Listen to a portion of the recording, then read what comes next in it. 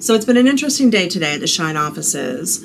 After their 60 minute epic battle last month, Ivelisse and Serena Deeb were ready to have a rematch on this month's show on August 22nd. However, we received a phone call from Serena saying that she has been injured and is not going to be medically cleared to be on this month's show.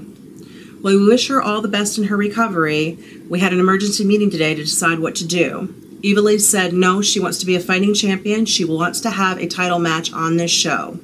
So we decided our best course of action would be to have a four-way dance to determine the number one contender. In this match will be Su Yung, Leah Von Dutch, Nevaeh, and Aamazing Kong. The winner of this match will go on to have a title shot later on in the show.